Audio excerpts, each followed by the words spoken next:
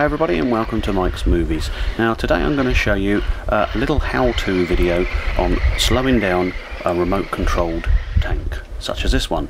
I've had this one since around about 2001, 2002. In fact, it was my first remote controlled tank. Uh, it's always been far too fast. Good fun, but not particularly realistic, and it looks absolutely horrible, as you can see in the video.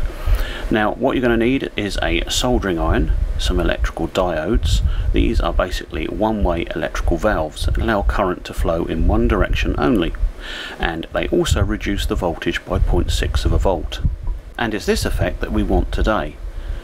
By putting the diodes back to back as you can see here means that the current can flow in both directions for your forward and reverse gears on your tank.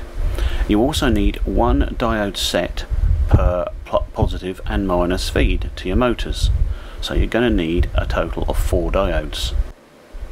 You can obtain these diodes from various places online or at high street shops such as Maplin's or Radio Shack.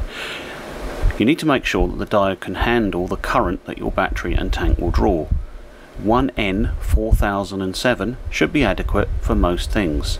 But do make sure that if you have a larger tank, such as a 1 16th, which I have done this modification on before, that the current is not going to be more than diode can handle. Carefully cut the feed wires to your motors, making sure you remember which colour goes to which. In this case I've replaced the motor set so the colours don't actually correspond. Then solder in a pair of diodes into each feed wire, as seen here. Finally, make sure that they're carefully uh, fixed so that they can't shake around and cause any electrical shorts. I used hot melt glue. Okay, let's take the tank for a test and see how it runs.